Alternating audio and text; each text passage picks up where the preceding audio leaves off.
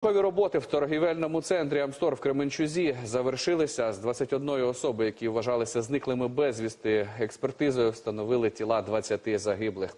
Повідомляє про це голова громади Віталій Малецький в своєму Фейсбуці. На- Наразі одна людина досі залишається зниклою безвісти, одна померла в лікарні.